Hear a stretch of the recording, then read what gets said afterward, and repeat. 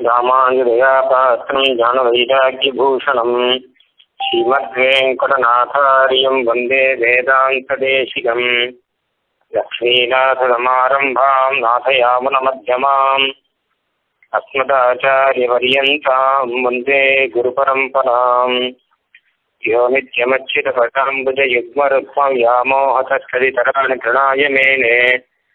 अस्मद्गुरोर्भगवतोऽस्य दैकसिन्धोः रामानुजस्य चरणौ शरणं प्रपद्ये श्रीकृष्णदेशिकपदाम्बुजभृङ्गर वेदान्तलक्ष्मणमुनीन्द्रकृपात्तबोधम् त्रय्यन्तदेशिकयतीन्द्रशठारिमूर्तिम् गोपालदेशिकशिखामणिमाश्रयामः अखिलभुवनरक्षा साधनायावतीर्णे कुमतिकलिविलासत्वान्ततिग्मां सुजाने निरवधिकरुणाब्धौ वेदचूडागुरौ मे भवतु परमभक्तिश्रीनिधौ வெங்கடேஷே காலையில் மனுஷன் முதல்ல எழுந்திருக்கும் போது செய்ய வேண்டிய காரியங்கள் என்ன அனுஷ்டானங்கள் என்ன என்பதையெல்லாம் ஆரம்பிச்சு சொல்லிட்டு வர இது அபிகமன காலத்தினுடைய வியாக்கியானம் அது காலையில எழுந்திருக்கும் போதே ஹரிநாமத்தை சொல்லிட்டு நித்திரை பண்ணதுக்காக ஆசமனம் பண்ணி முன்னால் ஆரம்பிச்ச யோகம் அப்படிங்கறத முடிச்சுட்டு அபிகமனம் ஆரம்பிக்கணும். அந்த அபிகமனத்துல முதல்ல செய்ய வேண்டிய காரியம் நிர்வேதம். அடுத்து ரெண்டாவது தைரியம். இது ரெண்டையும் சொன்னார். நிர்வேதம் என்பது இத்தனை நாள் நமக்கு சம்சாரத்துல வீணா போனதை நினைச்சு மனசுக்குள்ள கஷ்டப்படுறதுக்கு நிர்வேதம்னு பெயர். இந்த கஷ்டம் படுறோம் அப்படிங்கிறது சரணாகதி பண்ணவனுக்கு கூட இது ஒரு விதத்துல தேவையா இருக்கு என்று சாதிச்சார். ஏன் அப்படின்னா இவன் சரணாகதி பண்ணவன். அதனால இவனுக்கு கஷ்டப்பட அவசியம் இல்லை. சம்சார துக்கத்திலேருந்து வெளியில போறதுக்கான உபாயம் ஆயிருக்கு. ஆனா கூட அன்னன்னைக்கு நடக்க வேண்டிய கைங்கரியத்துல ஏதாவது விக்னம் வருமோ என்று ஒரு பயம் இருக்கு. அதனால இந்த கைங்கரியத்தை இத்தனை நாள் இழந்துட்டோம் பாப்பத்தின் காரணமாக இழந்துட்டோமே அதை இனிமேலும் இழக்கக்கூடாது முதலான காரியங்கள்லாம் இருக்கு. இந்த கைங்கரியத்தை பார்த்து இத்தனை நாள் இதை இழந்ததை நினைச்சு அப்படின்னு ஒன்று இருக்கும். அதுபோல அன்னன்னைக்கும் அதாவது முன்தினம் முன்தினம் இருபத்தாறு மணிக்காலும் நம்மளால கைங்கரியம் பண்ண முடிஞ்சதா அப்படின்னா இல்லை. அதுலேயே எத்தனையோ நாள் வீணா போயிடுது எத்தனையோ சமயங்கள் வீணா போயிருக்கு. அதனால அதையெல்லாம் நினைச்சு நிர்வேதப்படுறது இவனுக்கு பிராப்தமா இருக்கு. ஆனால் நிர்வேதம் அப்படிங்கிறது தைரியத்துக்கான ஆரம்பம். முதல்ல கஷ்டம் இருக்கும் வருத்தம் இருக்கும். அதுக்கப்புறம் தைரியத்தை வர வச்சுக்கணும்.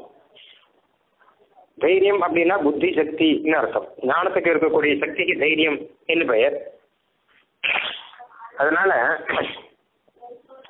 கடந்த காலத்தை எண்ணி நிர்வேதப்படணும். ஆனா இப்படியே நிர்வேதப்பட்டு இருந்தால் அடுத்த காரியம் நடக்காது. அதுக்காக இனிமே கைங்கரியம் நன்னா நடக்கணும் அப்படிங்கிறதுக்காக அந்த நிர்வேதத்தை நாமே போக்கிண்டு தைரியத்தை நாம் ஏற்றுக்கணும் என்பதாக சொன்னார். அதில் தைரியத்தை பற்றி சொல்லும்போது வேணும் அப்படின்னு சுவாமி தேசியன் அழகாக சாதிச்சிருக்க தைரியத்திலேயே சாத்விக தைரியம் ராஜச தைரியம் தாமச தைரியம் மூணு விதம் இருக்கு. ஒன்று ஒன்றுலையும் இந்த மாதிரி மூணு இருக்கிறத பகவான் கிருஷ்ணன் கீதையில் அருளி செய்யும் போது சாத்விக தைரியத்தை பற்றி அழகாக திருத்தியா ஜெயா தாரயதே மன பிராணேந்திரிய கிரியாக யோகேன அவ்யபிச்சாரிண்யா திருத்திகி சா பார்த்த சாத்விகி என்று அருள் செய்திருக்கார். அதனால எந்த ஒரு தைரியத்தினால மனசு பிராணன் இந்திரியம் முதலிய காரியங்கள்லாம் அதனுடைய செயல்கள் எல்லாம் பகவானை குறித்து யோகத்தோடு சேர்ந்து இருக்குமோ அதுக்கான தைரியத்தை வரவழைச்சிக்கிறதுக்கு கார்த்திகை தைரியம் அப்படின்னு பையன் சத்துவகுணத்தினாலே வரக்கூடிய தைரியம் இது. இந்த தைரியத்தை வர அதுக்கப்புறம் நான் இனிமே தொடர்ந்து கைங்கரியங்கள்லாம் பண்ண போறேன். அப்படிங்கிறது வந்து இவன் கைங்கரியம் பண்ணணும். அதுக்காக அந்த தைரியத்தை வர வச்சுக்கணும் அப்படின்னு. இனிமேல் நான் பகவான் திருவடிகளில் அர்த்தம் செய்யறதிலே முயற்சி செய்வேன். பஞ்சகால ரீதியை அனுசரிப்பேன் அப்படின்னு மனசுக்குள்ள ஒரு உறுதி- ஒரு உறுதி வர வச்சுக்கணுமா இதவோர்தம் அகம் தாவது. யாவத் ஜீவம் ஸ்ரீய ஸ்ரீயா பதயோः அர்ச்சனம் கர்த்தும் யதமான சமாஹிதா அபிகச்சன் ஹரிம் பிராதः பச்சா திரவியாணி சார்ஜயன் அர்ச்சயம் ததோ ததோ மந்திராந்த பன்னபி போன வரைக்கும் போயாச்சு. இனிமேல் நான் நல்லா பகவானுக்கு நல்லா கைங்கறி மரணம் அப்படின்னு மனசுக்குள்ள ஒரு திடமான நிச்சயத்தை வர வச்சுக்கணும் ஆராதேன் ஹரிம் பக்தியா கமயிஷ்யாமி வாசரானு என்னால் முடிஞ்ச வரைக்கும் நான் கந்தம் புஷ்பம் இதெல்லாம் சேர்த்து வச்சு பகவான் ஆராதனம் பண்ணணும் என்பதாக மனசுக்குள்ள ஒரு நினைச்சுக்கணுமா? ஒரு முடிவு வர வச்சுக்கணும் அதனால இதுதான் தைரியம். என்று பெயர் நீ அடுத்த திருநாமத்திலேருந்து நாம் பார்க்க போறோம். ஐநூத்தி அறுபத்தி ஒன்பதாவது திருநாமத்திலிருந்து ஆரம்பம். மந்திராதிகம குருவன்யோபாய தூஷண வேதிதா.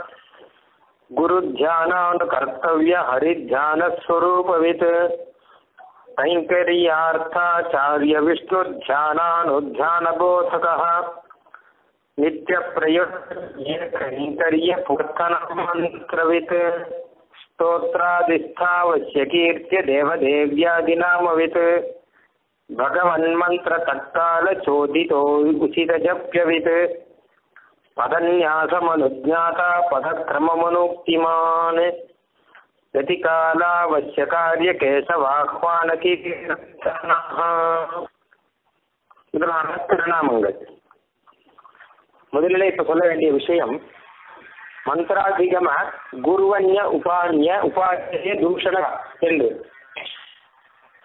இந்த ஆன்மீகங்களை சொல்லும்போது இதுல அநேக மந்திரங்களை பத்தி சொல்லக்கூடாது இப்போ முத முதல்ல நம்ம காலடி எடுத்து வைக்கும் போது அதாவது படுக்கையிலிருந்து இருந்து காலடி எடுத்து வைக்கணும்னா அதுக்கு ஒரு மந்திரம் இருக்கு. அதுக்கப்புறம் சந்தியாவந்தனாய மந்திரங்கள் ஆராதன மந்திரங்கள் ஆராதனத்திலேயே பஞ்சோபனிஷத் மந்திரங்கள் இது போல பல மந்திரங்கள் இருக்கு. இந்த மந்திரங்களை எல்லாம் இன்னும் மேல சொல்ல போகிறேன் இதெல்லாம் வச்சு நாம் திருவாராதனங்கள்லாம் பண்ணணும்னு. அதனால ஆரம்பத்துல முதல் முதல்லயே ஒரு விஷயம் அழகா சொல்லிடுறார். இந்த மந்திரங்களை எல்லாம் ஆச்சாரிய முகேன அதாவது குரு கிட்ட உபதேசம் வாங்கிக்கணுமே தவிர நாமளா படிச்சு தெரிஞ்சுக்க கூடாது அப்படின்னு முக்கியமான ஒரு விஷயம். மந்திரத்துக்கு அப்படின்னு மந்திர சாஸ்திரங்கள்ல சில பிரக்கிரியைகள்லாம் சொல்லியிருக்கான். ஒரு மந்திரத்தை ஜபம் பண்ணணும் அப்படின்னா கூட அதுக்கும் சில பிரக்கிரியைகள்லாம் உண்டு. அது மாதிரி ஒரு மந்திரத்தை உபதேசம் வாங்கிக்கணும் அப்படின்னா அதுக்கும் சில பிரக்கிரியைகள்லாம் உண்டு. அதனால சுவாமி தேசிகன் என்ன பண்ற தேசிக சகாசாது அதீத்தியா அத்த அன்வகம் பிரயோக்தவ்யா ஆச்சாரியன்கிட்ட இருந்து உபதேசம் வாங்கிக்கோங்கோ அப்படின்னு இருக்கார் ஒரு மந்திரத்தை ஆரம்பிச்சு சொல்லும்போது மந்திரத்தை பூர்த்தியா தேசியன் எழுதலை. ஆரம்பம் மாத்திரம் எழுதிட்டோ இப்படி ஒரு மந்திரம் இருக்கு இந்த மாதிரி ஆரம்பிச்சு ஒரு மந்திரம் இருக்கு. இது நீங்க ஆச்சாரியன் கிட்ட உபதேசம் வாங்கிட்டு நிச்சயம் இதை ஜபம் பண்ணுங்கோ அப்படின்னு சொல்லியிருக்க ஏன் இது எழுதினா என்ன அப்படின்னு கேட்டா எழுதி படிக்கிறதுங்கிறது மந்திரத்துக்கு கூடாது. லிக்கித பாட்டம்னு பேர் அதுக்கு. யாரோ ஒருத்தர் நோட்டீஸ்ல எழுதி கொடுக்குற மாதிரி எழுதி கொடுத்து அதை வச்சு மந்திரத்தை சொல்றதுங்கிறது பலன் அளிக்காதான் இப்போ அதுக்காக அதுக்காக ஒரு ஸ்லோகம் ஒன்று இருக்கு. சாஸ்திரத்தை சொல்லியிருக்கிற ஸ்லோகம் எதிர்ச்சையா ஸ்ருதோ மந்திரா சன்னேன அத சலேன வா பத்ரேக்ஷிதோ வா வியர்த்த சியாது பிரத்யுத அனர்த்ததோ பவேத் அப்படின்னு. ஒன்று எதிர்ச்சையா ஸ்ருதோ மந்திரா. உபதேசமா கேட்காமல் ஏதோ போகிற போக்குல ஏதோ மந்திரத்தை கேட்டோம் அப்படின்னா அந்த மந்திரம் பலிக்காது. குரு முகேன அவரை சேவிச்சு உபசக்தி பண்ணி அவரை ஆசிரியிச்சு அவர் உபதேசம் பண்ண இவன் திருப்பி சொல்ல மந்திர உபதேசமாகும். எதிர்த்தியா அப்படின்னா இந்த மாதிரி உபதேசங்கள்லாம் எதுவுமே இல்லாமல் போற போக்கில் யாரோ ஏதோ சொல்லிட்டு இருந்தா இவன் கேட்டுட்டு இருந்தான் அப்படின்லாம் கேட்கக்கூடாது. இல்ல அது கொஞ்சம் சொல்லுங்களேன் அப்படின்னு கேட்கறதோ அப்படிலாம் கூடாது. அடுத்தது சன்னேன சன்னேனா மறைஞ்சிருந்து கேட்கக்கூடாது. ஆச்சாரியில ஒருத்தருக்கு உபதேசம் பண்ணும்போது அவன் மறைஞ்சிருந்து அந்த உபதேசத்தை கேட்டு இவனு மந்திரத்தை தெரிஞ்சுக்கிறேன் நானும் தெரிஞ்சுட்டேன் அப்படின்னு சொல்லக்கூடாது. அந்த மந்திரம் பலம் கொடுக்காது. அடுத்தது சலேன. சலேனா வியாஜமா கேட்கக்கூடாது. ஏதோ ஒரு சாக்கு போக்கு சொல்லிட்டு அது தெரியாம எனக்கும் தெரியும் ஆனா முதல் ரெண்டாவது பாகம் தான் தெரியல அப்படின்னு சொல்லிட்டு அந்த ரெண்டாவது பாகத்தை தெரியும். அந்த மாதிரி எல்லாம் ஒரு வியாஜத்தினால நான் இப்படி பண்றேன் நீங்க இப்படி பண்றோங்கோ அப்படின்னு ஏதாவது கேட்டு ஏதாவது சாக்கு போக்கு சொல்லி உபதேசம் வாங்கிக்க வேண்டி வந்திருக்க உபதேசமா இல்லாமல் ஏதோ ஒரு சாக்கு சொல்லி அதுல வாங்கிக்கிறது அப்படிங்கிறது தப்பு. அடுத்து நாலாவது பத்ரேக்ஷிதா. பத்ரேக்ஷிதானா புஸ்தகத்துல எழுதினது பாடத்துல எழுதினது. புஸ்தகத்தில் மந்திரங்கள் காயத்ரி மந்திரமா இருக்கட்டும் இன்னும் முதலான மந்திரங்கள்லாம் இருக்கட்டும். காயத்ரி மந்திரத்துக்கு தான் நம்ம வந்து பிரம்மோபதேசம் வச்சிருக்கா. உபநயனத்துல பிரம்ம உபதேசம் பிரம்மோபதேசங்கிறது காயத்ரி மந்திரத்தினுடைய உபதேசம் தான் அதே மாதிரி எல்லா மந்திரத்துக்குமே வேத மந்திரங்கள் எல்லாத்துக்குமே அப்படிதான் உபதேசம் பண்றது தான் வழக்கம். இன்னைக்கும் இருக்கு. பத்திரத்துல இப்போ எழுதி அதாவது ஏதாவது புஸ்தகத்திலே எந்த ஒன்று எழுதியிருக்கு அதை பார்த்து இந்த வேத மந்திரம் தான் ஆட்டம் இதுதான் ஆட்டம் புஸ்தகத்தில் இருக்கிறத பார்த்து படிக்கிறேன் அப்படின்னு ஆரம்பிக்க கூடாதான் அப்படிலாம் செய்தா என்ன ஆகும் கேட்டான்னா சேது அந்த மந்திரம் பணம் கொடுக்காது. பிரத்யுத அனர்த்ததோ பவேது அது மாத்திரம் இல்லாமல் பாபமும் வந்து சேரும். ஏன்னா மந்திரத்தை அவமரியாதை பண்ணினோம் அப்படிங்கிற ரீதியில அது நமக்கு பாபத்தை கொடுக்கும். இப்படி ஒரு ஸ்மிருதி வச்சனம் இருக்கு. அதனால மந்திரங்களை தெரிஞ்சுக்கும்போது முதல்ல ஆச்சாரியனை சேவித்து பிரார்த்தித்து அப்புறம் பக்தியோட வேஷம் வாங்கிக்கணும் அப்படிங்கிற ஒரு விஷயம் முக்கியமான விஷயம். இதை முதல்ல சொல்லிட்டேன் அதுக்கப்புறம் இனிமேல் மந்திரங்கள்லாம் நிறைய வரப்போகுது அதுக்கு ஆரம்பமாக குருவன்ய உப குருவர்ணிய உபாய தூஷண வேதிதான் திருநாமம். குருவை காற்றும் வேற வழியில மந்திரத்தை தெரிஞ்சுக்கிறது தப்பு. குருமுகமாக தான் தெரிஞ்சுக்கணும். அப்படிங்கிறதே அருளி செய்தவர். என்ன அர்த்தம்? இந்த ஸ்லோகத்தை பல இடங்களில் சுவாமி தேசியம் எடுத்து இதே ரீதியில் வியாக்கியானம் பண்ணியிருக்கார். அடுத்த திருநாமம் ஐநூத்தி எழுபது குரு ஜானானு கர்த்தவிய ஹரித்தியான ஸ்வரூப வீட்டு அடுத்தது இன்னொரு முக்கியமான விஷயம்னு சொல்ற மந்திரம் தெரிஞ்சுக்கிற மாதிரி இன்னொரு விஷயம். பகவானை சேவிக்கும் போது ஆச்சாரியனையும் சேவிக்கணும். முக்கியமா பகவானை தியானம் பண்ணும்போது ஆச்சாரியனை தியானம் பண்ணணும். பகவானை கோயிலில் போய் பகவானை சேவிக்கும் போது அப்போ மனசினாலேயாவது ஆச்சாரியனையும் சேவிச்சுண்டு அப்படியே தான் பகவானை சேவிக்கணும். இந்த முதல் திருமகள் என்று இவரை முன்னிட்டு எம்பெருமான் திருவடிகள் அடைகின்றேனே அப்படின்னு சுவாமி தேசியம் சாதிக்கிறார். எல்லா ஆச்சாரியன் பெயரையும் சொல்லி என் உயிர் தந்து அளித்தவரை சரணம் புக்கு. யானடைவேன் அவர் குருக்கள் நிறைவணங்கி பின்னருளால் திரும்பூதூர் வந்தவள்ளல் பெரிய நம்பி ஆள வந்தார் மணக்கால் நம்பி நன்னறியை அவர் குறைத்து உய்ய கொண்டார். நாதமுனி சடகோபன் சேனைநாதன் இன்னமுத திருவகள் என்று இவரை முன்னிட்டு எம்பெருமான் திருவடிகள் அடைகின்றேனே. இன்னும் ஆச்சாரியனை சேவிச்சுன்னு அப்படியே எம்பெருமானை சேவிக்கிறேன் அப்படிங்கிற அதனால எதுவானாலுமே சரி குரு தியானம் அதுக்கப்புறம் ஹரி தியானம். தியானம் பண்ண சொல்லணும் முதல்ல குருவை தியானம் பண்ணணும். அதுக்கப்புறம் ஹரிய தியானம் பண்ணணும் அப்படின்னு சொல்லியிருக்கார். அதனால அந்த விஷயத்தை முக்கியமாக சொன்னவர். இப்போ சுவாமி தேசிகன் பல வசனங்களை எடுத்திருக்கார். இப்போ முதல்ல வந்து குருன் பிரபத்ய பிரதமம் தத்குரும்ஸ்ட ததோ ஹரிம். முதல்ல குருவை சேவிச்சுண்டு அதுக்கப்புறம் அந்த குருவனுடைய குருவை சேவிச்சுண்டு இப்படி குரு பரம்பரை சேவிச்சு ததோ ஹரிம். அதுக்கப்புறம் ஹரிய தியானம் ஹரிய சேவிக்கணும் அப்படின்னு இதில் சொல்லியிருக்கு. இல்ல தன்னுடைய குருவை மாத்திரம் சேவிச்சா போறாது தன்னுடைய ஆச்சாரியன் மாத்திரம் கிடையாது. அவருடைய ஆச்சாரியன் அவருடைய ஆச்சாரியன் அவருடைய ஆச்சாரியன் அப்படின்னு சொல்லப்பட்ட குரு பரம்பரை. இந்த குரு பரம்பரையை தியானம் பண்ணிட்டு அதுக்கப்புறம் தான் ஹரி சேவிக்கிறோம் அப்படின்னு சொல்லியிருக்காராம். அதே போல ஸ்ரீ சாத்வத சம்ஹிதையில பாஞ்சராத்திரத்துல குரும் தேவம் நமஸ்கிருத்திய உபவிஷ்ய அதினாசனே அப்படின்னு கார்த்தால எழுந்து ஒரு யோகம் பண்றோம் இல்லை கார்த்தால தூங்கி எழுந்தோடனே படுக்கையில இருந்துனே ஒரு யோகம் ஒன்று பண்ணணும். அது சொல்லச்ச குருவும் தேவம் நமஸ்கிருத்திய குருவையும் தேவன்னா பெருவாளையும் சேவிச்சு உபவிஷ்ய உட்காந்து அந்த யோகத்தை பண்ணணும் அப்படின்னாரு. ஆக இதெல்லாம் காத்தால முதல்ல செய்ய ஆரம்பிக்கும் போதே குரு தியானத்தோடு தான் ஆரம்பம். அது மாத்திரம் இல்ல சர்வ கர்மாரம்பேங்கிற எல்லா கர்மத்தினுடைய ஆரம்பத்திலையும் குருவையும் பெருமாளையும் சேவிச்சுட்டு தான் நமக்கு எல்லா கர்மையும் ஆரம்பிக்கணும்.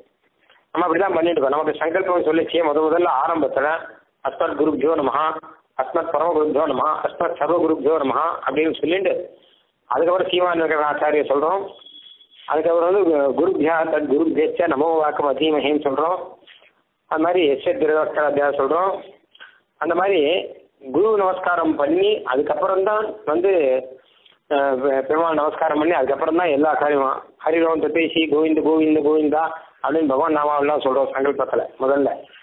நம்ம சம்பிரதாயத்தில் அழகா இதை கொண்டு வந்திருக்கார்.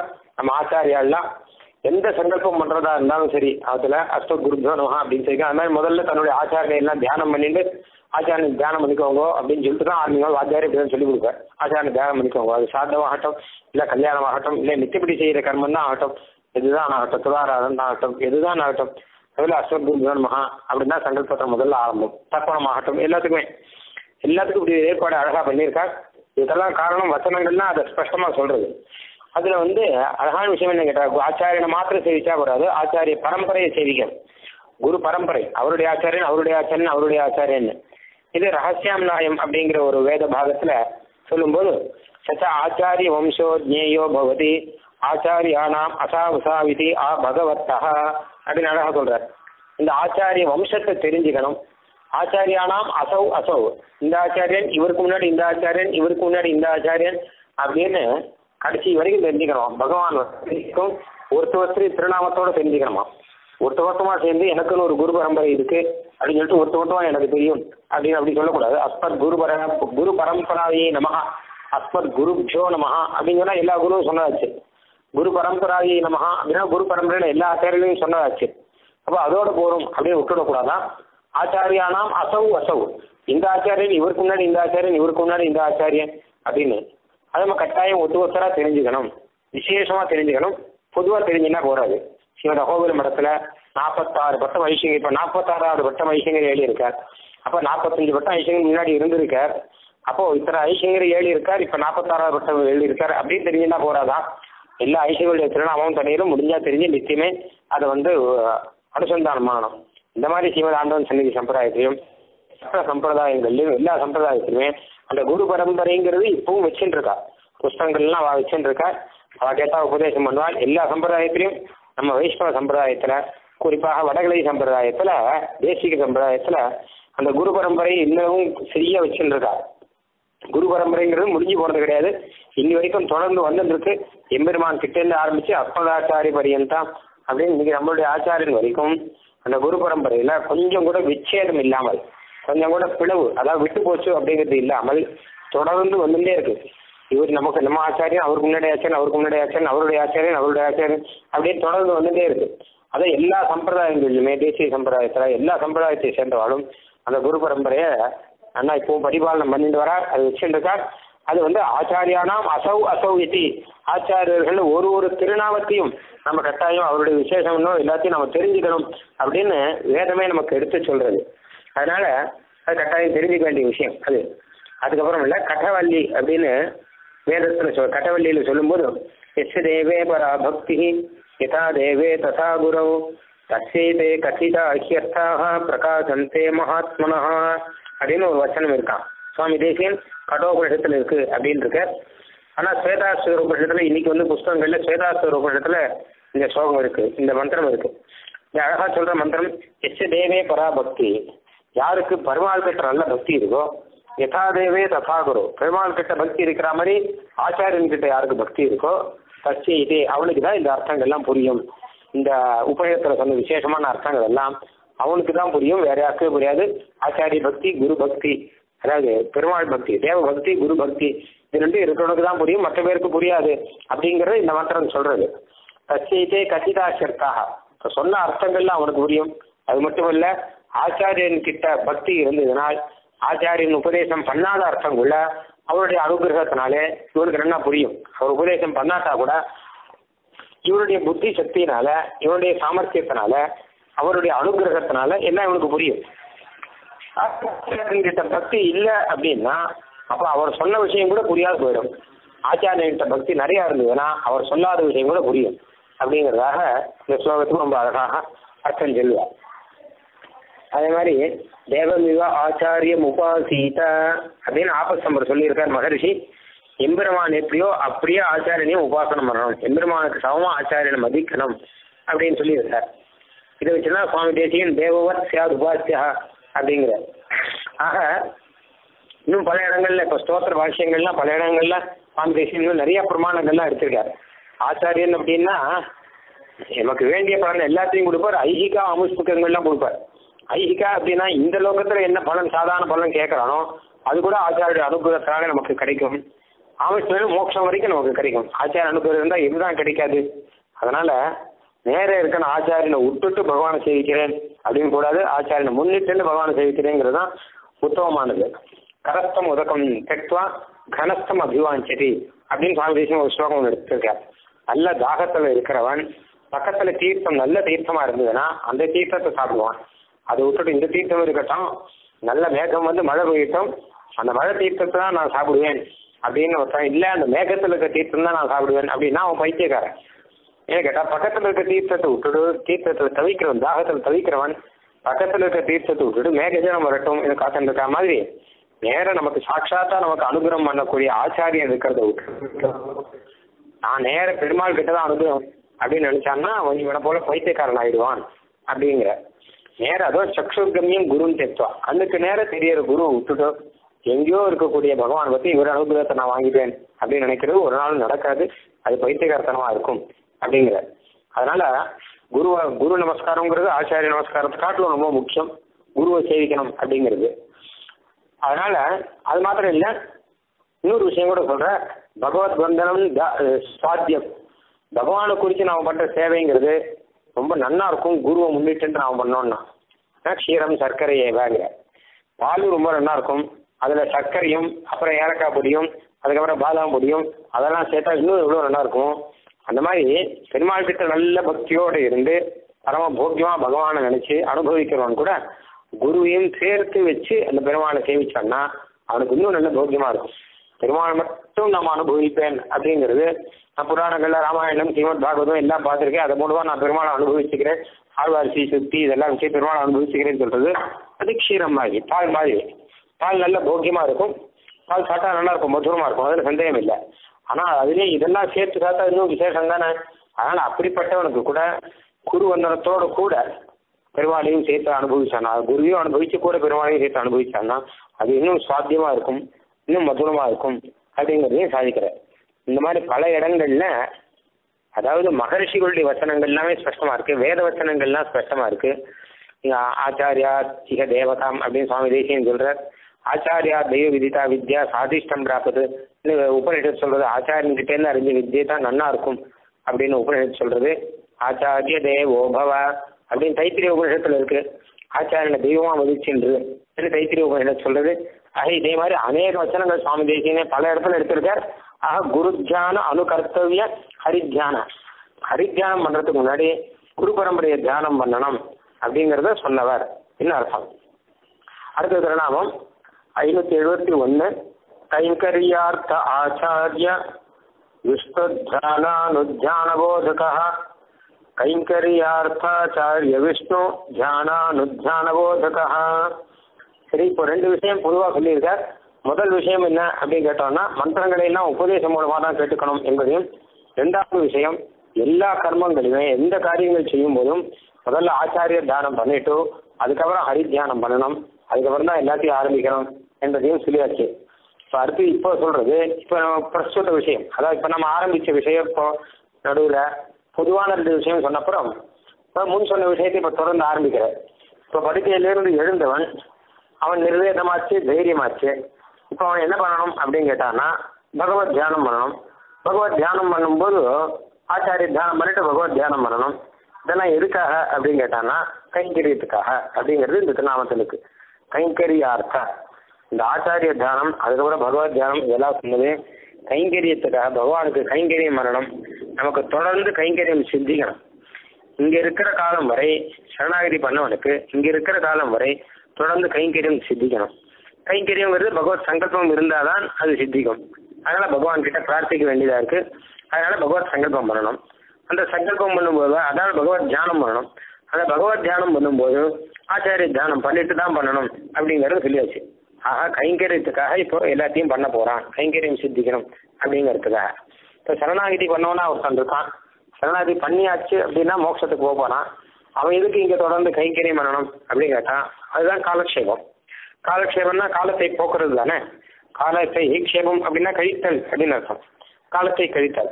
தமிழ்ல சொல்றதா பொழுதுபோக்கு அப்படிங்கிறா இங்கிலீஷ்ல சொல்றதா டைம் பாசிங் அப்படிங்கிறா பொழுதுபோக்கு அப்படிங்கிறதோ டைம் பாசிங் அப்படிங்கிறதோ எப்போ வரும் அப்படின்னு கேட்டா அது உபாயமா வராது. இவன் செய்ய வேண்டிய காரியத்துல செஞ்சு முடிச்சாச்சுன்னா அதுக்கப்புறம் பொழுதுபோக்கு. ஒருத்தன் ஆபீஸ்ல இருக்கான் ஆஃபீஸில் என்ன வேலையெல்லாம் அவன் செய்யணுமோ எல்லாத்தையும் செஞ்சு முடிச்சுட்டான். நாலு மணிக்கு கிட்டத்தட்ட எல்லாம் செஞ்சு முடிச்சாச்சு. இன்னொரு அரை மணி என்ன கேட்டான்னா பொழுதுபோக்கு. சரி எல்லா வேலையும் முடிச்சாச்சு வா கொஞ்சம் நேரம் இப்படி ஏதாவது பண்ணிட்டு இருக்கலாம். அப்படின்னு அதுக்கு தான் பொழுதுபோக்கு அப்படின்னு பெயர். அதுதான் டைம் பாசிங் எல்லா ஆற்றுக்கு தான் வந்துட்டான். ஆற்றுக்கு வந்தாச்சுன்னா ஆஃபீஸில் செய்ய வேண்டியது இல்லை குடும்பத்துக்கு செய்ய வேண்டியதெல்லாம் செஞ்சு முடிச்சாச்சு அப்படின்னா அதுக்கப்புறம் உங்கள் பொழுதுபோக்கு என்ன? அப்படின்னு கேட்டால் நான் என் பொழுதுபோக்கா நான் விளையாடிட்டு இருப்பேன். என் பொழுதுபோக்கா நான் டிவி பார்த்துட்டு இருப்பேன். அப்படிதான் சொன்னாங்க அதனால் பொழுதுபோக்குங்கிறது தான் காலட்சேபம். அப்ப பொழுதுபோக்குன்னா என்ன கேட்டோம்னா ஒரு உபாயத்தை செஞ்சு முடிச்சவன் செய்ய வேண்டிய கடவை எல்லாம் செஞ்சு முடிச்சவன் அதுக்கப்புறம் இருக்கக்கூடிய கொஞ்ச காலத்தை அவன் எப்படி கழிக்கிறான் அப்படிங்கிறது அதுதான் பொழுதுபோக்கு அப்படின்னு சொல்றது அதை தான் அப்படிங்கிறான். இப்பவும் அதே மாதிரி பார்த்தோம்னா சரணாகதி அப்படிங்கிற உபாயத்தை செஞ்சு முடிச்சுட்டான் சிவன் மோட்சத்துக்கு போகிறதுக்காக என்ன பண்ணணுமோ அதை பண்ணி முடிச்சாச்சு. உபாயம் முடிஞ்சாச்சு ஏன் மோட்சத்துக்கு போக வேண்டியதுதான். ஆனால் நடுவில் கொஞ்சம் காலம் இருக்கு. இந்த காலத்தை எப்படியாவது கழிக்கணும். இது என்ன அஹ் இப்போது இந்த காலத்துலேயும் நான் வந்து ஏதாவது உபாயம் பண்ணுறேன்னு ஆரம்பிக்க கூடாது. ஏன்னா உபாயம் இது பண்ணி முடிச்சா சொல்லியோ நீங்க அது செய்ய வேண்டியதில்லை. உடனே மோட்சம் வந்துட்டா பரவாயில்ல. ஆனால் வரல. ஆனால் இங்கே இருக்கிற காலம் வரைக்கும் ஏதாவது இந்த காலத்தை எப்படியாவது கழிக்கணும் இல்லையோ அதுக்குதான் காலக்ஷேபம் அப்படின்னு வச்சா காலம் க்ஷிபந்தி பகவான் கரணைகி அவந்தியகி அப்படிங்கிற சுவாமி தேசியன் காலத்தை மெதுவாக கழிக்கிறதுக்காக என்ன வழி அப்படின்னு பார்த்துருக்கா சுவாமி தேசிகனும் அழகா ஒரு உதாரணம் சொல்லியிருக்கார். எப்படி ஆனால் தெப்பம் ஓடம் இக்கரையிலேருந்து அக்கறைக்கு போனோம் ஒருத்தன் அக்கறைக்கு போறதுக்காக அவன் ஓடம் ஓடத்துல போனோம் ஓடத்துக்காக பைக்காவெல்லாம் இவன் கட்டியாச்சு. ஓடம் வந்தாச்சுன்னா அக்கறைக்கு அழிச்சுன்னு போக வேண்டியதுதான். ஆனால் அந்த ஓடம் வர்ற வரைக்கும் நடுவில் கொஞ்சம் காலம் இருக்கு. அந்த கொஞ்ச காலம் என்ன பண்ணலாம் அப்படின்னு பார்த்தா கரையிலே உட்காந்து என்ன பண்ணலாம்? அதுதான் காலக்ஷேபம். அதுதான் பொழுதுபோக்கு. இவன் விளையாடணும்னா விளையாடுவான் புஸ்தகம் பார்க்கணும்னா புஸ்தகம் பார்ப்பான் பேசணும்னா பேசிட்டு இருப்பான். என்ன வேணா பண்ணலாம் இல்லையோ இவனுக்கு எதில் இவனுக்கு ருச்சி இருக்கோ அதுக்கு அனுசரிச்சு இவன் மன்னிட்டு இருப்பான் இல்லையோ அதுதான் காலட்சேபம். அடுத்து ஓடம் வந்தாச்சுன்னா அக்கறைக்கு அவன் போட போறான். அது மாதிரி எம்பெருமான் வந்து நம்மளை கூட்டுக்கு போறான். பின்னாடி நம்ம சம்சாரங்கிற சமுத்திரத்துல இக்கரையில அக்கறைக்கு போக நடுவுல இக்கரையில நம்ம வந்தாச்சு. அவன் அதாவது ஓடத்துல அந்த பக்கம் போறதுக்காக தயாரா வந்தாச்சு. நம்ம இன்னும் வேற எங்கேயும் இந்த பக்கமே வராமல் நான் அக்கறைக்கு போக போறது இல்ல. நான் இங்கேயே இருந்துருக்கேன் அப்படிங்கிற மாதிரி இல்லாமல் இதை தாண்டி அந்த கரைக்கு போறதுக்காக அக்கறைக்கு போறதுக்காக ரொம்ப அக்கறையோட நம்ம வந்தாச்சு. இப்போ அப்போ உபாயம் செய்தாச்சு. இப்போ இருக்கும்போது நம்ம வந்து பெருமாள் வந்து கூட்டின்னு போக போறார் ஓடம் வந்து இவனை கூட்டின்னு போற மாதிரி பெருமாள் வந்து நம்ம கூட்டுக்கு போறார் கடைசியில. நடுவில் இருக்கிற காலத்துல இவன் செய்கிறது காலக்ஷேபம். இந்த காலத்தை எப்படி வேணா போக்கலாம் அவன் வாழ்க்கை ருச்சிக்கு ஏற்ற மாதிரி இப்படி வேணா போகின்னு இருக்கலாம். ஆனால் இதுல சுவாமி தேசியம் சொல்றது என்னன்னு கேட்டானா சரணாகதி பண்ணவன் கூட இப்படி வேணா காலத்தை போகலாமே. அதனால என்ன இவனுக்கு எப்படி ருச்சி அப்படி போகலாமே அப்படின்னா அது இவனுக்கு சுரூபம் ஒன்று அப்படிங்கிறார். சரணாகதி பண்ணவனுக்கு ஸ்வரூபம் அப்படின்னு ஒன்று இருக்கும் இல்லையோ? இந்த சுரூபத்துக்கு ஏற்ற மாதிரி தான் இவன் காலக்ஷேபம் பண்ணணும். சுரூபம் என்ன கேட்டா இவனுடைய ஆத்மாவை பகவான் கிட்ட சமர்ப்பித்தவன். ஆத்மஸ்வரூபம் ஆத்மா ஆத்ம நிக்ஷேபம் அப்படிங்கிறதா? ஆத்ம தியாகம் அப்புறம் பல தியாகம் பல தியாகம் இந்த மாதிரி எல்லாத்தையும் பகவான் கிட்ட சமர்ப்பித்தவன். ஆத்ம சமர்ப்பணங்கள் எல்லாம் பண்ணவன். அந்த சுரூபத்துக்கு ஏற்ற மாதிரி தான் பண்ண முடியும். விளையாட்டு தான் இருக்கட்டும் காலக்ஷேபம் தான் இருக்கட்டும். அவா வாழ்க்கை குறிச்சி மாத்திரம் கிடையாது. அவா வாழ்க்கை சுரூபத்தையும் வச்சு தான் பண்ணுவாள். ஒரு ராஜகுமாரியா ஒருத்தி இருக்காள் அப்படின்னு வச்சுக்கோ. ராஜகுமாரி ஒருத்தி இருக்காள். இல்லாட்டா ராஜபத்னி ஒருத்தி இருக்காள் அப்படின்னா அவளுடைய பொழுதுபோக்கு அப்படிங்கிறது வேறையா இருக்கும். இல்லை சாதாரணமான மனுஷன் பிச்சைக்காரன் அப்படின்னா அவனுடைய பொழுதுபோக்கு வேற மாதிரி இருக்கும். என்ன கேட்டானா பிச்சைக்காரன் கூட்டு அவன் பொழுதுபோக்கு என்ன கேட்டானா கொஞ்சம் பிச்சை எடுக்கணும் அவன் பிச்சை எடுப்பான். உபாயமா இல்லாமல் இதே வேற ஏதாவது பாட்டு பாடணும் அப்படின்னா பாடுவான். அவனுக்கு ஏற்ற மாதிரி. ஆனா ராஜகுமாரியா இருக்கவோ அவ அவளுக்கு ஏற்ற மாதிரியான தன் தோழிகளை எல்லாம் கூட்டி வச்சுட்டு விளையாடுறது அந்த மாதிரி தான் அவ ஆ- அந்த மாதிரி சாதாரணமான மனுஷனுக்கும் ராஜகுமாரர்கள் நம்மை போல இருக்கவாளுக்கும் எத்தனையோ வித்தியாசம் இருக்கு பொழுதுபோக்குலயே நம்ம பார்த்துட்டு இருக்கோம் பணக்காரர்களுடைய பொழுதுபோக்கு இப்போ நமக்கு தெரியும். பணக்காரர்களுடைய பொழுதுபோக்கு அப்படிங்கிறது வேற ஏழைகளுடைய பொழுதுபோக்கு அப்படிங்கிறது வேறையா இருக்கு. அந்த மாதிரி வயசுக்கு ஏற்ற மாதிரி அவளுடைய நிலைக்கு ஏற்ற மாதிரி இந்த பொழுதுபோக்குங்கிறது வித்தியாசப்படுறது. இப்ப இவன் சரணாகதி பண்ணுவன். இவனுடைய ஆத்மஸ்வரூபத்துக்கு ஏற்ற மாதிரி தான் இவன் பொழுதுபோக்கு அப்படிங்கிறது இருக்கான் இவனுடைய ஆத்மஸ்வரூபங்கிறது ஆத்மாவே எம்பெருமான் கிட்ட ஒப்படைச்சவனானபடினால இந்த ஆத்மா இவனுடையது இல்லை. அது எம்பெருமானுடையது அப்படின்னு இவன் வந்து அதை ஒப்படைச்சுட்டான். அப்போ அதுக்கேற்ற மாதிரி தான் இவனுடைய பொழுதுபோக்கு இருக்கும். எம்பெருமானுக்காக அப்படின்னு தான் இவனுடைய பொழுதுபோக்கு இருக்கு. எம்பெருமான் கிட்ட எப்ப தன்னையே ஒப்படைச்சிட்டானோ அவன் இவன் பொழுதுபோக்கா செய்யற காரியம் கூட எம்பெருமானுக்காக தான் இருக்கும்.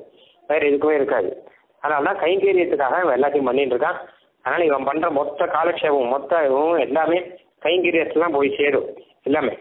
அப்படி பண்ணாதான் இது இவனுக்கு சுரூபம் இல்லாக்காம சுவாமி தேசியம் சொல்ற ராஜமகிஷி மடிப்பிச்சை புக்கால் ராஜாவுக்கு அவத்தியம் அப்படிங்கிற. ராஜமகிஷி போய் பிச்சை எடுத்தானா அது எப்படி? ராஜாவுக்கே ரொம்ப தோஷம். ராஜாவோட மகிழ்ச்சியா இருக்க பட்டத்து ராணியா இருக்கக்கூடியவோ நான் வந்து பிச்சை எடுக்கிறேன்னு எடுத்தான்னா அது அவளுக்கு தோஷம் மாத்திரம் இல்லை ராஜாவுக்கே தோஷம். அந்த மாதிரி பகவான் கிட்ட ஆத்மாவை சமர்ப்பணம் பண்ணி சரணாகிதி பண்ணவன் இவன் ஒண்ணும் இல்லாத சாதாரண பாமரன் போல இவன் பொழுதுபோக்கெல்லாம் போக்கிட்டு இருந்தான்னா அது பெருமாளுக்கு அது ஒரு இருக்கா போயிடும். அதனால அப்படி பண்ணக்கூடாது. அதனால இவனுடைய சொரூபத்துக்கு ஏத்த மாதிரி இவன் தன்னுடைய காலத்தை அமைச்சுக்கணும். காலக்ஷேபத்தை அழகா பண்ணணும். அதனால அது வச்சுண்டு நான் கைங்கரியங்கள் தான் பண்ணணும். அதனால கைங்கரிய அர்த்தம் நிச்சயப்படி கைங்கரியம் பண்ணணும் அப்படிங்கிறதுக்காக ஆச்சாரிய விஷ்ணு. அதுக்கு வந்து பகவானுடைய அனுகிரகம் இருந்தால் தான் அந்த கைங்கரியங்கிறது நடக்கும். அதனால பகவத் தியானம் பண்ணணும். பண்ணத்து முதல்ல சொன்ன மாதிரி ஆச்சாரிய தியானம் பண்ணிட்டு அதுக்கப்புறம் பகவத் தியானம் பண்ணணும். அப்படிங்கிறது கைங்கரியார்த்த ஆச்சாரிய விஷ்ணு தியான அனுத்தியான போதகா அப்படின்னு அழகா சொல்லியிருக்கார். அடுத்த திருநாமம் நித்திய பிரயோஜ்ய கைங்கரிய பூரணார்த்தன மந்திரவித்து. கைங்கரிய பூரணார்த்தன மந்திரம் இன்னொரு மந்திரம். கைங்கரியம் நல்லா பூர்த்தியா நடக்கணும் அப்படிங்கிறதுக்காகவே ஒரு மந்திரம் இருக்கான் அந்த மந்திரத்தை சொல்லி எம்பெருமான் கிட்ட பிரார்த்திக்கணும். பிரார்த்தனா மந்திரம் அப்படின்னே பெயர். கைங்கரியம் நல்லா நடக்கணும் அப்படிங்கிறதுக்காக பிரார்த்தனா மந்திரம். இதை வந்து நித்திய பிரயோஜ்ய இது தினமே காத்தால் இதை சொல்லணும் அப்படின்னு சுவாமி தேசியன் சொன்னவர். இங்கே இருக்கிற காலம் வரை நமக்கு இந்த பகவத் கைங்கரியம் கிடைச்சுட்டு இருக்கணும் அதனால நம்ம பகவத் கைங்கரியத்தை பெற்று ஆனந்தமா சந்தோஷமா இருக்கோம் ஆனால் நம்ம கைங்கரியத்துக்கு எப்பவுமே தடைகள் இருக்கும். பொதுவாகவே நல்ல காரியம் நடந்தால் அதுக்கு தடைகள்லாம் நிறைய இருக்கும். தடைகள் அப்படிங்கிறது நம்முடைய கர்மங்கள் தான். நம்மளுடைய புண்ணிய பாபங்கள் தான். அதனால என்னுடைய புண்ணிய பாபங்களான கர்மங்களை எல்லாம் போக்கி எனக்கு கைங்கரியத்தை பூர்த்தி செய்யணும் அப்படின்னு பகவான் கிட்ட பிரார்த்திக்கணும். இதை பிரார்த்திக்கிறதுக்காக ஒரு ஸ்லோகம் இருக்கு. ஒரு மந்திரம் இருக்கு. சச்ச பிரார்த்தனா மந்திரா தொய் ஆராதன காமோயம் இத்தியாதிக. யதா நியாயம் தேசிக சகாசாதீத்திய அத்த அன்வகம் பிரயோக்தவ்யா. அந்த பிரார்த்தனா மந்திரம் ஸ்ரீ ஆராதன காமோயம். உன்னை ஆராதனம் பண்ணணுங்கிறதுக்காக அப்படின்னு பகவான் கிட்ட பிரார்த்திக்கிற மந்திரம் அதை வந்து உபதேசம் வாங்கிக்கோங்கன்னு சொல்லிட்டார். மந்திரத்தை பூர்த்தியா சொல்லலை. இது வந்து எதுக்காக அப்படிங்கிறத முன்னாடியே அந்த ஸ்லோகத்துல சொல்லியிருக்கார். முதல்ல விக்னாயுதேன கோவிந்தே நாம் பக்தி நிவாரியதே. பகவான் கிட்ட பக்தி பண்ணச்ச கூட அதுக்கு கூட தடை வரும். எத்தனையோ ஆயிரக்கணக்கில் பல்லாயிரக்கணக்கான தடைகள்லாம் அதுக்கு கூட வரும். அதனால இந்த தடைகள்லாம் முதல்ல போகணும். முதல்ல சொன்ன மாதிரி தடைகள்லாம் வெளியில இருந்து வருதுன்னு நினைச்சுக்க வேண்டாம் நம்மளுடைய பாவங்களே தான் பெரிய தடைகள். அந்த தடைகளை போக்கி எம்பெருமானே உன்னுடைய அனுகிரகத்தினாலே நான் உன்னுடைய கைங்கரியத்தை எல்லாம் நல்லா பண்ணணும் என்பதாக பிரார்த்திக்கக்கூடிய ஒரு மந்திரம் அது. பெய் ஆராதன காமகா ஆரம்பிச்ச மந்திரம். இந்த மந்திரத்தை உபதேசம் வாங்கிக்கிறது மாத்திரம் இல்லாமல் நித்தியம் காத்தால இந்த மந்திரத்தை சொல்லணும் அப்படின்னு நித்திய பிரயோஜ்ய கைங்கரிய பூரணார்த்தன மந்திரம் வித்து அடுத்ததாக ஐநூத்தி எழுபத்தி மூணு ஸ்தோத்ராதிஷ்டாவசிய கீர்த்திய தேவனே வியாதி இப்போ பகவானுடைய திருநாமங்கள் அதையெல்லாம் நிறைய சொல்லணும். பார்த்தாலும் வேலையில இந்த மந்திரத்தை சொல்லிட்டு அதுக்கப்புறம் பகவானுடைய திருநாமங்களை எல்லாம் மன உறக்க சொல்லணும் அப்படிங்கிற அப்போ என்னென்ன திருநாமங்களை சொல்லலாம் அப்படிங்கிறதுக்காக அழகா ஒரு விவசாயம் எல்லாம் பண்ணியிருக்கா. கார்த்தால அவதார நாமங்களை எல்லாம் சொல்லலாம். பகவானுடைய அவதாரங்கள் வியூகாவதாரம் வாசுதேவன் சங்கர்ஷன் பிரத்யும்னன் அனிருத்தன் அப்படின்னு. அதுக்கப்புறம் கேசவ நாராயண மாதவ முதலான பன்னெண்டு வியூகங்கள். அதுக்கப்புறம் மத்ய கூர்மா வராகன் சிம்ம அப்படின்னு விபவ அவதாரங்கள் இது எல்லாத்தையும் இதெல்லாமே கார்த்தால் சொல்லலாம். கார்த்தால அவதார நாமங்களை சொல்றதுங்கிறது ரொம்ப விசேஷம். எப்படியானா தசாவதார ஸ்தோத்திரத்திலே கடைசியில் சுவாமி தேசியம் சாதிக்கும் போது இச்சாமீன விகார கச்சவ மகாபூத்திரின் எதிர்ச்சா ஹரே ரக்ஷா வாமன ரோஷராம கருணா காக்குஸ்த ஹேலாகலின் கிரீடா வல்லவ கல்கவாகன தசா கல்கின் இது பிரத்யகம் அப்படிங்கிற. ஜல்பந்தா புருஷாக பிரத்யகம் ஜல்பந்தா தினம் தினம் இந்த பகவானுடைய அவதார நாமங்களை யார் சொல்றாளோ அவா புனந்தி புவனம். அவா லோகத்தை எல்லாம் பரிசுத்தமாக்குறா. அப்படிங்கிற. புண்ணியவுக பன்யாபனாக அப்படிங்கிற. லோகத்தை எல்லாம் பரிசுத்தமாக்குற அளவு இருக்கலாம். அவ இந்த பகவானுடைய அவதாரணங்களை எல்லாம் தினமுமே சொல்றவர்கள் என்கிறார். ஆக கார்த்தால இருந்து பகவானுடைய அவதார நாமங்களை சொல்றது. அதுபோல தேவியாதி நாமம் இது. தேவி பிராட்டிகள். பெரிய பிராட்டியார் லக்ஷ்மி தேவியார் அதுக்கப்புறம் வந்து பூமி பிராட்டியார் நீலாதேவி இவர்களுடைய நாமங்களை எல்லாம் சொல்றதும் விசேஷம். அதுக்காக பெரியவாள்ல ஆன்மீக கிரந்தங்கள்ல அழகா சொல்லியிருக்கார். அதனால அதை சொல்லணுங்கிறது இந்த திருநாமம். இதில் வந்து பாரமேஸ்வரத்தில் அழகா ஸ்லோகம் மாதிரி இருக்கு. இது அழகா சொல்ற பாரமேஸ்வரத்தில். சம்பிரபுத்த பிரபாத்தேது உத்தாய சயனே சிதா அப்படின்னு காத்தால எழுந்து உடனே அந்த படுக்கையில் இருந்துட்டு இப்போ படிக்க விட்டு எழுந்துக்கல இவன். படுக்கையில் உட்காந்துருக்கான் இப்போ. படுத்துன்றதுனால எழுந்து உட்காந்துருக்கான் ஆச்சமனங்கள்லாம் பண்ணிட்டான். அப்போ இந்த வியூகத்திலேருந்து அவ சொல்றார் ஓம் நமோ வாசுதேவாய நம சங்கர்ஷணாயத்தே பிரத்யும்னாய நமஸ்தேஸ்து अनिरुद्धाय ते नमः। क्रमतः केशवादीनां यावद्दामोदरं द्विजः। नमो नमः केशवाय नमो नारायणाय च। माधवाय नमश्चैव गोविन्दाय नमस्ततः। विष्णवेथनमस्कुर्यात् नमस्ते मधुसूदन। नमस्त्रिविक्रमायाथ वामनाय नमस्ततः। श्रीधराय श्रीधरायनमश्चाथ ऋषिकेशाय ते नमः। नमस्ते पद्मनाभाय नमो दामोदराय च। దివ్యనామా திவ்யானாம் அவதாரானாம் தசாநாமத கீர்த்தனம் அப்படின்னு ஆரம்பித்து அடுத்து பத்து அவதாரங்களுடைய கீர்த்தனம் நமஸ்தே மீன ரூபாய கமட்டாய நமோ நம நமோஸ்து ஆதிவராகாய நாரசிம்ஹாய தே நம நமோ வாமன ரூபாய நமோ ராமத்ரயாய ச குஷாரஜாஹலாஸ்திராய நம கிருஷ்ணாய வேததே கல்கின் விருஷ்ணா நமஸ்தேஸ்து சர்வம் சப்ரணமம் திஜா அப்படின்னு அவதார நாமங்களை எல்லாம் சேர்த்து வச்சு இதுல சப்பணம்னு சொல்ற ஒன்று ஒன்றுலையும் முன்னாடி பிரணவத்தை கூட சேர்த்துக்கணுமா?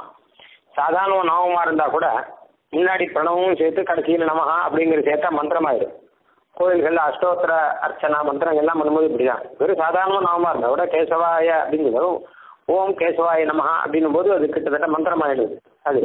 ஆனால் இதெல்லாம் பிரணவத்தையும் சேர்த்து நமஹா அப்படிங்கிறதையும் சேர்த்து இதெல்லாம் மந்திரமாக்கி இப்படியாக கார்த்தால் சொல்லணும். கார்த்தால் படிக்கையில் இருந்துன்னு இதெல்லாம் மொத்தம் சொல்லணும்.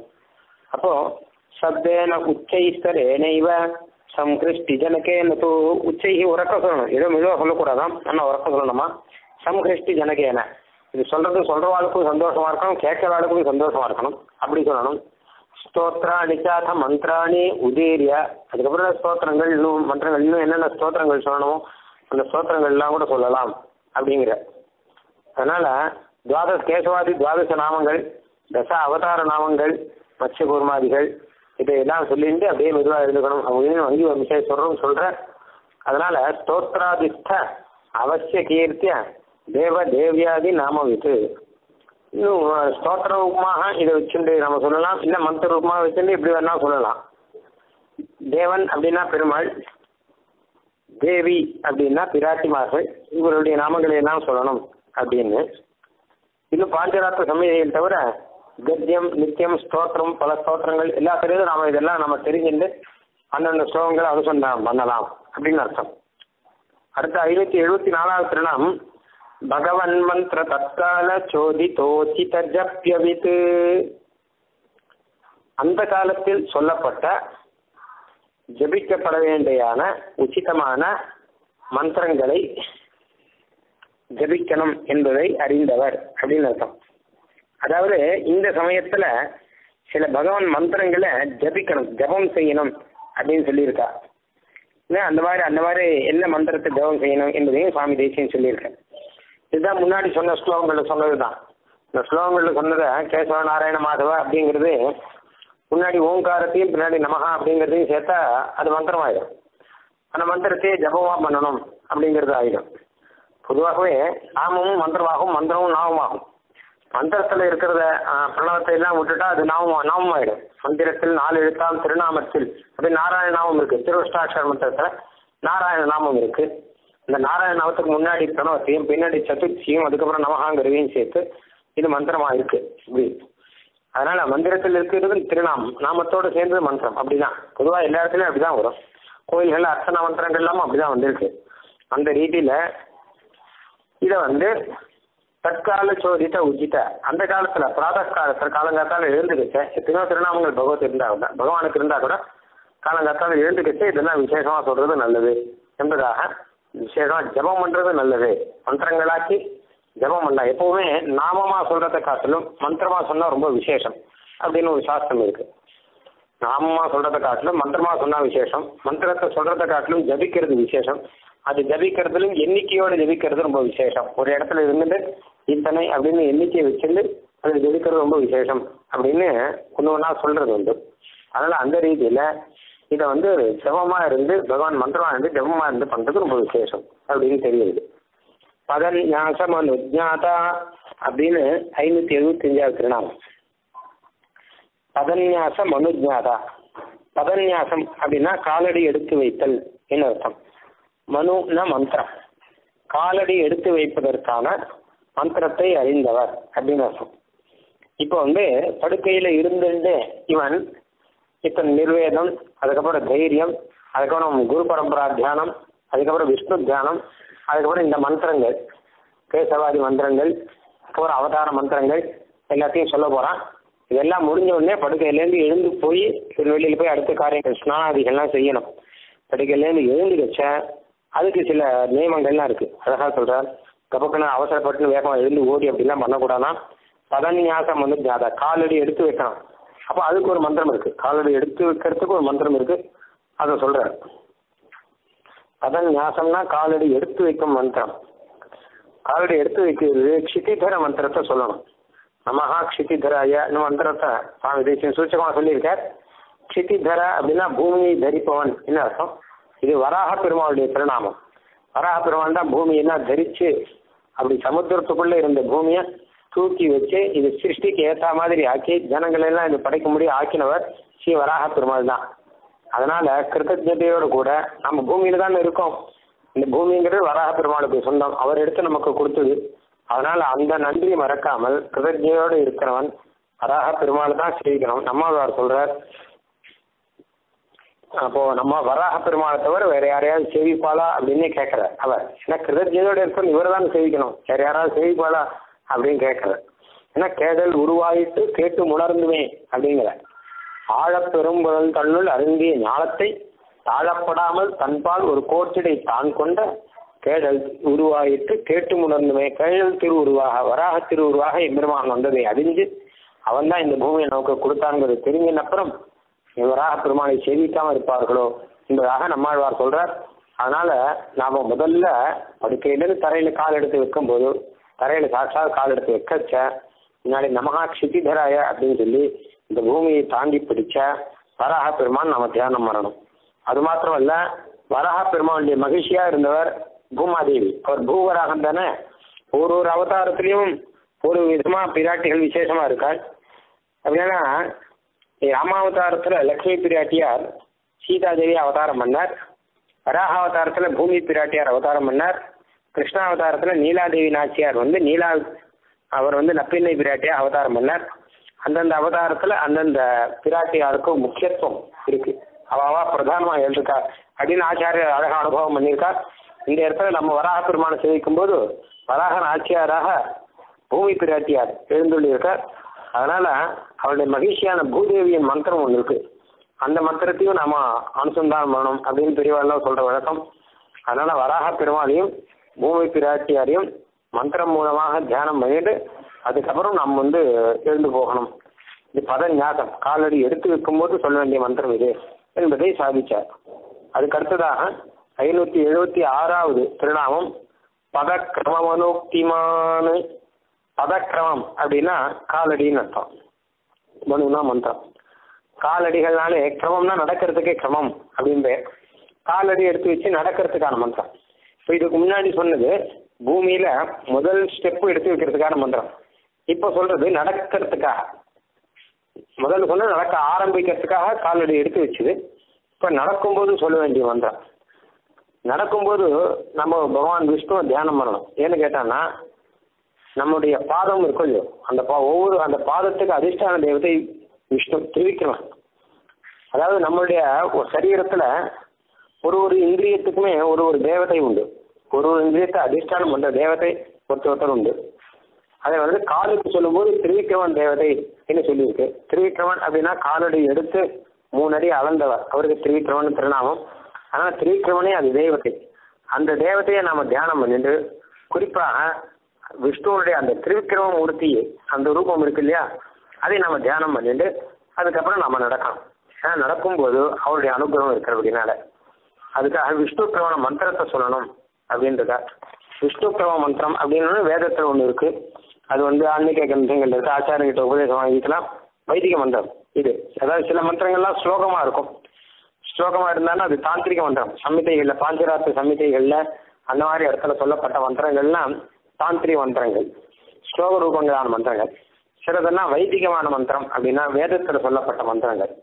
இதுல வந்து விஷ்ணு கிரம மந்திரம் அப்படிங்கிறது வைதிகமான ஒரு மந்திரம். வேதத்துல சொல்லப்பட்ட மந்திரம். அதனால அந்த மந்திரத்தை சொல்றது அதுவும் வழக்கம். குறிப்பா என்ன கேட்டான்னா திருவிக்ரமா ஐயா திருவிக்ரமா நினைக்கணும்.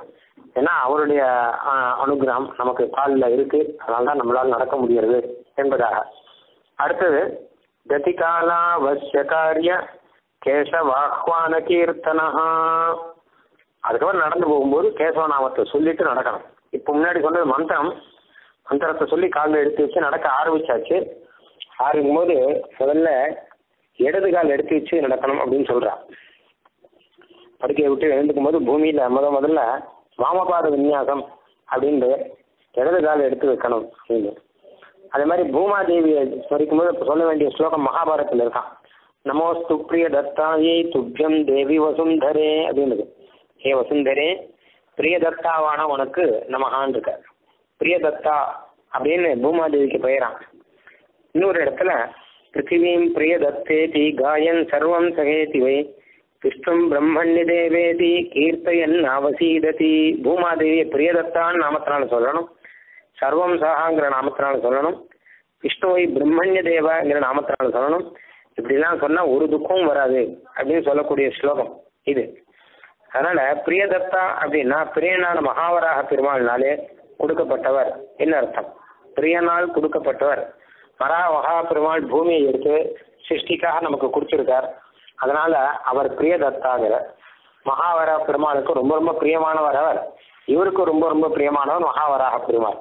பார்வண்ண மதமங்கை பத்தர் பித்தர் அப்படிங்கிற திருமங்கி ஆழ்வார் பூமாதேவியினுடைய பக்தரா மகாவர பெருமாள்ங்கிறது பூமாதேவி கிட்ட அத்தனை வியாமோகம் அத்தனை பிச்சு அவர் என்ன சொன்னாலும் அதை கேட்பாராம். இவர் அவர்கிட்ட அத்தனை ஆசையாம் இவருக்கு.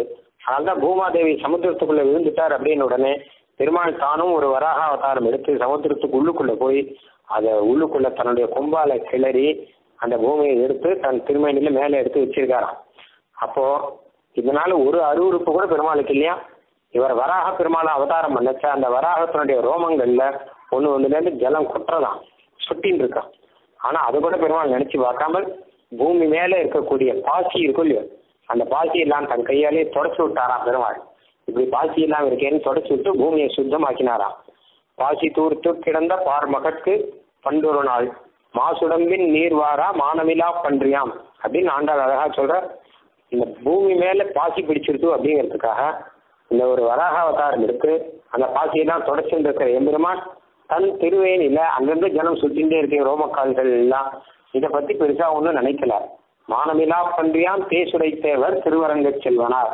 பேசிடைப்பனகள் பேசவும் பேராதே என்று நாச்சியார் தமிழில் ஆண்டாள் அருளி செய்கிறார். அந்த ரீதியில இந்த வராக பெருமாள் தான் பூமியை நமக்கு கொடுத்தாங்க அப்படின்னால பிரியதத்தா அப்படின்னு திருநாமம்.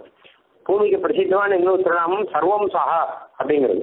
எல்லாவற்றையும் சகிப்பவர் என்ன அர்த்தம். ஏன்னா நம்ம பூமியில எத்தனை எத்தனை பூமியை தான் உழறோம் பூமியில கட்டடங்கள்லாம் கட்டுறோம் என்னென்னவோ பண்றோம். குறிப்பா பூமியை நம்ம உழுதோம்னா அப்போ பூமியை குத்தி கிளறி உழறோம் இல்லையோ ஆனா கூட உழுதோம்னா பூமி நமக்கு பயிர் கொடுக்கறது. நல்ல நெல் பயிரும் நல்ல மரங்களும் பூமியை குத்தி அதில் மரத்தை நட்டோம்னா மரத்துல நல்ல பழங்கள்லாம் கிடைக்குது. அதனால யார் யார் எத்தனை கெத்தனை பூமியை துன்புறுத்துறாலோ அத்தனை கெத்தனை பூமி அவருக்கு நல்லதுதான் செஞ்சுட்டு இருக்கு கெடுதல் செய்யறதே கிடையாது. ஏன்னு கேட்டால் சர்வம் சகா எல்லாத்தையும் சகிப்பவரா பூமி. யார் என்ன கெடுதல் பண்ணாலும் அதை சகிச்சுண்டு பொறுமையோடு இருந்து அவளுக்கு நல்லதே பண்றவராம் அதனால பிரியதத்தா அப்படின்னும் சர்வம்சகா அப்படின்னும் பூமி பிராட்டியினுடைய திருநாமம் அதை நம்ம இப்போ பிரியதத்தாங்கிற நாமத்தினால பூமி பிராட்டியை சொல்லணும். அப்போல ஆதிவராக பெருமாள் நினைக்கணும் புராண விசேஷங்கள்லாம் நிறைய இருக்கு. ததா பதக்கிரமான் குருவன்னு விஷ்ணு கிரமண மந்திரேன விஷ்ணு கிரமண மந்திரத்தை சொல்லி மேலே வந்து நடந்து போகணும் அப்படின்னு சாமி தேசியன் அழகாக சொல்லியிருக்காரு. அதில் முதல்ல சொன்ன மாதிரி வாமபாத விநியாசம் காலடி எடுத்து வைக்கும்போது இடது காலை எடுத்து வச்சு அப்போ அந்த மந்திரத்தை சொல்லி சித்தி தின மந்திரத்தை சொல்லி பூம பிராட்டியை ஸ்மரிச்சு வராக பெருமானை ஸ்மரிச்சு இடது காலை எடுத்து வச்சு அதுக்கப்புறம் விஷ்ணு கிரமண மந்திரம் அப்படின்னு மந்திரத்தை சொல்லி திருவிக்கிரம பெருமாளை மனசால தியானம் பண்ணிட்டு அதுக்கப்புறம் நடக்க ஆரம்பிக்கணும் அப்படிங்கிறது இதுவரை சொன்னதுடைய சாரம். கதிகாலாவசியகாரிய கேசவாஹ்வான கீர்த்தனஹா.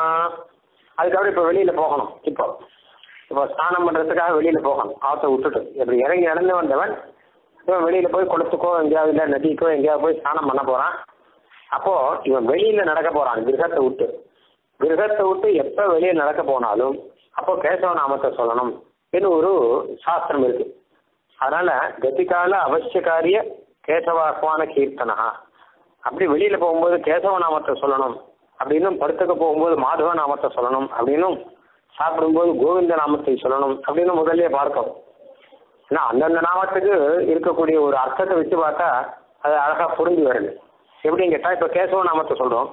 கேசவன்னா என்ன சொன்னா பல அர்த்தங்கள் இருக்கு. ஒன்னாவது அர்த்தம் கேசவன் கேசம் அப்படின்னு சொன்னா பிரகாசம் இன்னும் அர்த்தம்? ஒளிர்பவர் தன்னுடைய அம்சத்தினாலே ஒளிர்பவர் அப்படின்னு அர்த்தம். இப்போ கேசவன் அப்படின்னா தேஜஸ்னாலே பிரகாசிக்கக்கூடியவர் அப்படின்னு அர்த்தம். இது இப்ப சொல்றது ரொம்ப முக்கியமா இருக்கு. ஏன்னு கேட்டா இவன் பின்னால கிராம முகூர்த்தத்துல எழுந்துட்டு இவன் வந்து நடந்து போக போறான். இப்போ குளத்துக்கோ எங்கேயோ நடந்து போக போறான். ஸ்நானம் பண்றதுக்காக கிராம முகூர்த்தத்துல இருட்டா இருக்கும். ஆனா பின்னால மூணு மணி நாலு மணிக்கு கிட்டத்தட்ட நல்ல இருட்டா இருக்கும். வழி சரியா தெரியாது. அப்போ கேசவன் நாமத்தை சொல்லிச்சுன்னா நம்மளுடைய வழியில என்னென்ன இருக்கோ அதெல்லாம் போக்கி பெருமாள் தன்னுடைய திருமேனியினாலே நல்ல பிரகாசத்தை உண்டாக்கி நம்மளை அழிச்சுட்டு போவார் அப்படிங்கிற அர்த்தம். அது மாத்திரமல்ல கேசவன்னா இன்னொன்று அர்த்தம். க ஈசா வ அப்படின்னு பிடிச்சிக்கணும் க ஈசா கேச. அப்போ கங்கிறது பிரம்மாவுடைய திருநாமம். ஈசா அப்படிங்கிறது பரமசிவனுடைய திருநாமம். இரண்டு பேரையும் உடு உடையவன் இருப்பான் எம்பெருமான். இவா ரெண்டு பேரும் பெருமாளுடைய திருமேனிலேருந்து உண்டானவர்கள். கைட்டி பிரம்மோ நாம ஈசோகம் சர்வதேகினாம் ஆவாம் தவாங்கே சம்பூதோ தஸ்மாத் கேசவா நாமவான் அப்படின்னு பரமசிவன் சொன்ன ஸ்லோகம் இது. கேங்கிறது எங்க அப்பா பிரம்மாவுக்கு பெயர் ஈசன்கிறது எனக்கு பெயர். நாங்க ரெண்டு பேரும் உன் திருமேனிலேருந்து உண்டானவா? அதனால க ஈச வான் கேசவான் அப்படிங்கிறது உம்முடைய திருநாமம் அப்படின்னு பரமசிவன் சொல்ற ஸ்தோத்திரத்துல இந்த ஸ்லோகம் இருக்கு. அது வச்சு பார்த்தோம்னா பிரம்மா அதுக்கப்புறம் பரமசிவன் முதலானவர்கள் எல்லாம் சிருஷ்டிச்சவன் லோகத்தை எல்லாம் சிருஷ்டிப்பவன் அப்படின்னு அர்த்தம். இதை நம்ம எதுக்காக சொல்றோம் அப்படின்னா அவன் சிருஷ்டிச்சவன் தானே அப்ப அவன் கட்டாயம் ரட்சிப்பான். யார் சிருஷ்டிக்கிறாளோ அவ தானே ரட்சிப்பான் அப்ப நாம இங்க வழியில இருட்டுல போகும்போது நமக்கு போய் கரெக்டா திரும்பி வரணும். இல்ல ஆத்து விட்டு எப்பாவது வெளியில கிளம்பி போகும்போது நம்ம போய் காரியத்தை முடிச்சுன்னு திரும்பி வரணுமோ இல்லையோ? அதுக்காக அது பகவான் பார்த்துப்பான். ஏன்னா சேர்த்து யோமே கர்ப்பகதசி அப்படின்னு சொன்ன மாதிரி சிருஷ்டிச்சவன் யாரோ அவர் தானே மரத்தை யார் வைக்கிறானோ அவன் தானே அதுக்கு ஜலம் குத்தி அந்த மரத்தினுடைய பலனை அனுபவிப்பான். அதுபோல பகவானே சிருஷ்டிச்ச அப்படின்னால பகவானே நமக்கு வேண்டியதெல்லாம் அவனே செய்து தருவான் அப்படிங்கிற நம்பிக்கையோட அந்த நம்பிக்கை வரத்துக்காக சொல்லக்கூடிய திருநாமம் இந்த கேசவ நாமம் என்பது. இன்னொரு அர்த்தம் கிருஷ்ணாவதாரத்துல நாரதர் சொல்றார் உனக்கு கேசவ நாமம்னு கண்ணன் கிட்ட. என்னன்னு கேட்டா கேசின்னு ஒரு அசுரன் ஒருத்தன் அவனை கொள்றபடினா நீர் கேசவன். குதிரை உருவத்துல வந்த அசுரன் அவன். அவனை கொள்றபடினால கேசவன். இதுல இருந்து என்ன கிடைக்கிறதுன்னு கேட்டான்னா நமக்கு தடைகளாக யார் வந்தாலும் அந்த தடைகளை ஒழிச்சுடுவான் கிருஷ்ணாவதாரத்தில் என்ன கேட்டா பகவான் கிருஷ்ணன் வந்து ஒரு ஊருக்கு தன்னை கொடுத்து கொண்டிருக்க அப்படிங்கிறார். அதாவது கோகுலத்துக்கு வந்து பிருந்தாவனத்துக்கு வந்து அங்க இருக்கிற ஆயிரத்துக்குள்ள பெண்கள் இன்னும் ஆயர்கள் எல்லாரோடையும் தான் ஆனந்தமா இருந்து அவளுக்கு ஆத்மதானம் பண்ணிட்டு இருக்காங்க. அவள்லாம் கிருஷ்ணன் அனுபவிக்கும்படியாக இருக்கா. அப்போ அந்த அனுபவத்துக்கு தடையாக இங்க கேசிங்கிற அசுரன் வந்து குதிரையா வந்து நான் இவாளை கொண்டுறேன் அவளை கொண்டுறேன் அப்படின்னு ஆரம்பிக்க அப்ப பகவான் கேசவனை கொள்றான் ஏன்னா பகவானுக்கு பாகவதர்களுடைய அனுபவம் தேவையா இருக்கு. பாகவதாளுக்கு பகவானுடைய அனுபவம் தேவையா இருக்கு. இது ரெண்டுத்துக்கும் நடுவில் எது வந்தாலும் அதை நான் ஒழிச்சு விட்டுடுவேன் அப்படின்னு இந்த அசுரர்களை எல்லாம் ஒழிச்சு கட்டுறானா இதிலிருந்து என்ன தெரியுதுன்னு கேட்டானா நமக்கும் அந்த மாதிரி பகவத் அனுபவத்துக்கு விரோதியா எது இருக்கோ அதை பகவான் ஒழிச்சு விட்டுடுவான். நமக்கு பகவத் அனுபவத்துக்கு விரோதமா எந்த அசுரன் இருக்கான் அப்படின்னு கேட்கக்கூடாது. அசுரர்கள்னா பாப்பங்கள் தான் அசுரங்கள் நம்ம பண்ண பாப்பங்கள்லாம் இருக்கு இல்லையோ? அதுதான் தடையா இருக்கு. இந்த தடைகளை எல்லாம் ஒழிச்சு பகவான் அனுபவம் நமக்கு கிடைக்கணும். நமக்கு காத்தால இருந்து பகவத் கைங்கரியங்கள்லாம் நிறைய கிடைக்கணும் தான் நம்ம நினைச்சுட்டு இருக்கோம். பகவத் கைங்கரியங்கிறது பகவத் அனுபவம். இந்த பகவத் அனுபவம் வரதுக்கு தடையா அன்னன்னைக்கு என்ன பாபங்கள் இருக்கோ அந்த பாபங்கள் எல்லாம் போய் நமக்கு வந்து பகவத் அனுபவம் அன்னைக்கு பூர்த்தியா கிடைக்கணும். அந்த பாபங்கள் ஆகிற தடைகளை எல்லாம் ஒழிப்பவன் அப்படிங்கிற அர்த்தத்துல கேசவ அப்படின்னு சொல்ல முடியும். ஆக இந்த கேசவ நாமத்தினுடைய அர்த்தங்களையும் அந்த கேசவ நாமத்தினுடைய பிரயோஜனங்கள் என்ன அப்படிங்கிறதையும் நாம பார்த்தோம்னா இந்த இடத்துல கேசவ நாமத்தை சொல்றது ரொம்ப பொருத்தமா இருக்கும் அப்படின்னு தெரியும். அதே மாதிரிதான் ஒவ்வொரு இடத்துலையும் படுத்துக்கும் போது மாதவான்னு சொல்றதும் அதுக்கப்புறம் சாப்பிடும்போது கோவிந்தான்னு சொல்லணும் அப்படிங்கிறது இதே மாதிரி எல்லாத்தையும் சிந்தனம் பண்ணி தான் தெளிவா ஏற்பாடு பண்ணியிருக்கா. ஆக இப்போ தூங்கி எழுந்தவன் காலடி எடுத்து வச்சவன் நடக்க ஆரம்பிக்கிறவன் ஆற்றை விட்டு வெளியில குளத்துக்கெல்லாம் போகிறதுக்கு தயாராகவன் இப்போ கடைசியா கேசவன் நடுவில் என்னென்ன சொல்லணும் எல்லாத்தையும் சொன்னார். கடைசி அவன் கேசவ நாமத்தை சொல்லி எம்பெருமாண்டிய திருநாமன் கேசவன்ற நாமத்தை சொல்லி அவன் கிளம்பணும் அப்படிங்கிற விஷயத்தையும் சாதிச்சார். அடுத்தது சந்தியா ஸ்நான உபகரண கிரகண ஏக விசக்ஷணா அப்படின்னு அவன் போகிறவன் என்னென்ன எடுத்துன்னு போகணும் எப்படி அவன் சுத்தமாக ஸ்நானங்கள் எல்லாம் பண்ணணும் முதலான விஷயங்களை எல்லாம் இனிமே அடுத்ததாக தொடர்ந்து சொல்ல போற. ஐநூத்தி எழுபத்தி எட்டாவது திருநாமத்திலிருந்து இவன் ஆரம்பிச்சு சொல்லணும். இதுவரை ஐநூத்தி எழுபத்தி ஏழு திருநாமங்கள் வரை இவன் காலங்காத்தால எழுந்துக்கிற பிரகாரத்தையும் இவன் எழுந்து நடந்து வெளியில கிளம்புற பிரகாரத்தையும் இப்போ சொல்லி இருக்கார். கவிதார்த்திக சிம்ஹாய கல்யாண குணசாலினே ஸ்ரீமதே வெங்கடேஷாய வேதாந்த குரவே நமஹ.